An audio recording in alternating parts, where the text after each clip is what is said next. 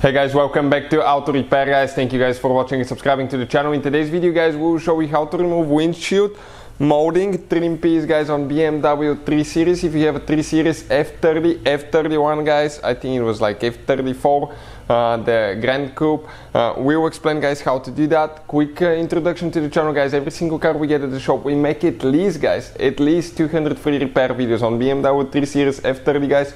We will have more than 3 to 400 repair videos, mechanical, everything will be taking apart on that car guys. And we show you how to fix pretty much anything. And we just did the timing chain replacement, so video is coming as well. Why we do all that? Simply because our mission in the shop is to save you guys as much money as we can. All we need in return, please subscribe to the channel and like the video guys so we can keep providing this free information to you.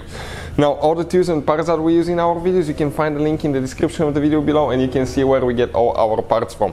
This specifically guys, it's a 2013 BMW 328 but it will work on 3 series uh, uh, different models all of them will be the same way guys. If you have an F30 F31 wagon or uh, the the GT 3 series as well guys. So this is the trim piece I'm talking about. The one on the other side will be exactly the same. We'll demonstrate on one side only. Uh, let me show you guys how to do that now. You're going to need a plastic panel remover tool plastic panel remover tool. You're going to come okay right here. I usually come like that don't on the window itself, guys. Okay, I go in that canal and just gently lift it up. Okay, I'll explain where each of the clips are located, so make sure you stand till the end so you know where to apply pressure and how they slide in so you don't damage them.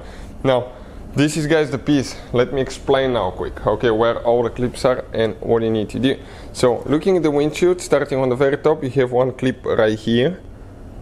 Okay, one, and you can see how it just slides in. That's a canal two, three, four, five.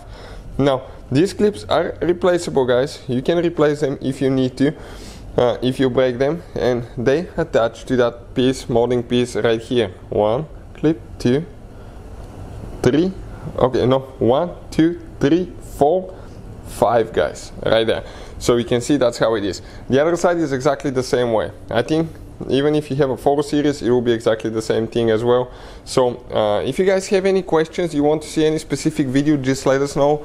Uh, we that's how we get ideas about our videos and we try to uh, help as many people as we can just by uh, making the videos guys and trying to solve your problems. So uh, let us know guys. If you need to buy any parts and tools for your BMW check out the link in the description of the video below. All that will be shared there. Hopefully guys the video was helpful. Thank you for watching. Thank you for the support. And hopefully we were able to save you some money. See you guys next time